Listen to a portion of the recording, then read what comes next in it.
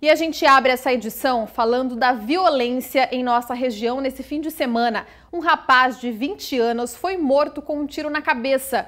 O crime foi dentro do quarto de um motel em Penápolis e a principal suspeita é uma adolescente de 17 anos. Eu vou conversar ao vivo com a repórter Viviane Santos, que tem mais informações desse caso. Bom dia, Vivi.